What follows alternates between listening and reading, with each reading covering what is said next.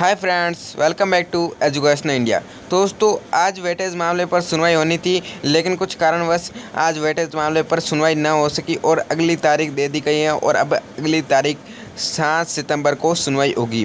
दोस्तों, आज कुछ कारणवश से सुनवाई न हो सकी, लेकिन दोस्तों, पहले सारी जानकारी दे दी गई थी कि एक सौ सत्तानवे नंबर केस पर सुनवाई होनी है, तीन बजे सुनवाई होगी, वगैरह सारी जानकारी दे दी गई, लेकिन दोस्तों, कुछ कारणवश आज सुनवाई न हो सकी। तो दोस्तों, कोई बात नहीं, लेकिन अब सात सितंबर को आपकी सुनवाई होगी। लेकिन दोस्तों, आप यह मत मानिए कि आज सुनवाई न हुई तो कट ऑफ़ तीस को नहीं आएगी। दोस्तों, कोई बात नहीं। कट ऑफ़ तो तीस अगस्त को ही आएगी या फिर एक सितंबर तक तो पक्का ही आ जाएगी दोस्तों।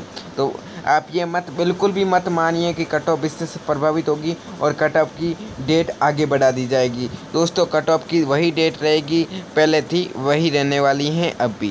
तो दोस्तों, इस वीडियो में यही जानकारी मैं आपको देने वाला था कि अब सुनवाई सात सितंबर को होने वाली है दोस्तों। तो दोस्तों, ऐसे ही वीडियो के लिए चैनल को सब्सक्राइब कर दीजिए ताकि आपको हमारे आगामी वीडियो का नोटिफिकेशन मिल सके। तो दोस्तों, धन्यवाद शुरू को देखने के लिए। जय हिंद, जय भारत, वंदे मातरम।